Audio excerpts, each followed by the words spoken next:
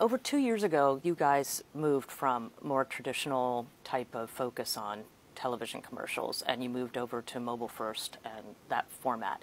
I'm really curious how you persuaded your clients to actually get on board with that with you. It mainly uh, revolved around showing them the data, why it mattered, how the consumer behavior was shifting towards feed rather than kind of long form TV based content, but also testing, so running versions of creative in market showing which one works best and it, it always worked in our favor. So how long did it take you to get them to realize this? It's an ongoing process that continues to this day. Mm-hmm. i think you basically summarized our jobs very well. We wake up in the morning and try to convince advertisers and other agencies to see the world through a mobile lens and not through a broadcast lens it's very difficult to do because a lot of these habits are very deeply ingrained so really i feel like the industry needs to be deprogrammed from its uh, broadcast roots and start to realize that if you're if you're selling to a, a customer under 40, you're probably going to make the connection with them through mobile and not through broadcast.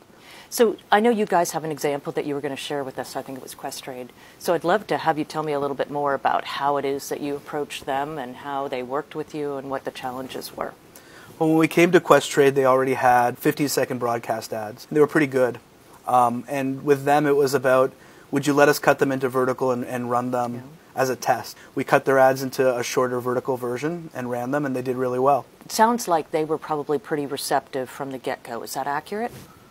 I think it took a little took a little explaining and yeah. some time. Um, but once we can deliver data and show the results, then it's an easier conversation the second time showing them was key. Actually making a spec version that, and showing them on a cell phone. There was no competition. It looked like with the vertical video that you're FaceTiming someone. It takes up 110% of the screen. The full screen doesn't cost any more to run it. Like yeah. it was, it's a no-brainer. Okay.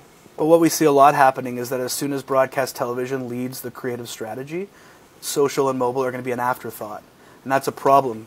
So we, you know, we just tell clients that they need to think about it mobile first. They can still do broadcast TV, but broadcast TV creative shouldn't be driving the creative strategy 2019 forward.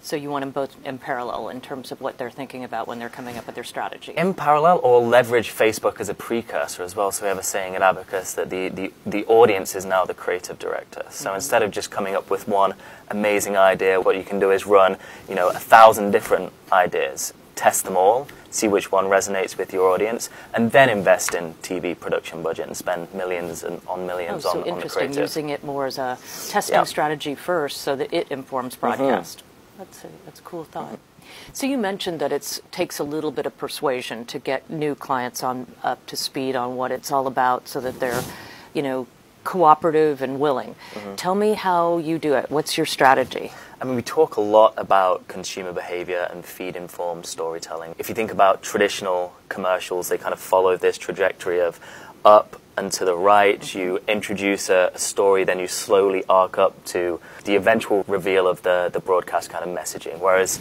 feed informed storytelling is the opposite. It starts up high, you come in with branding and messaging, and then drop down to a tail. Key is to um, capture people's attention in the first second, let them know what's in it for them within you know two three seconds, and then kind of arc off to the rest of the, the rest of the stories. We have a rule we call 158. It's like a second. In the first second, you should show like who you are and what you do. In in the first five, you basically tell your entire story, and by eight, a eight, eight second mark, assume that most people are gone. And if you overlay that against the traditional 30 second broadcast storytelling, you'll see that like 90% of the people are missing your main message. Mm-hmm. And 158 is sort of like a way that we could look at any piece of creative and, and give it a test. After a second, you know who it is and what it's about. After five, do you have a pretty good idea what they're trying to tell you? And it becomes like a good litmus test for. Okay mobile advertising. And that's, that's what we try and do. We try and take their creative and say, will this work within this constrained environment? And another point is the sound. Like most people don't have their sound on in the feed. So when we're designing creative, we try and say, you know, design for sound off, delight with sound on.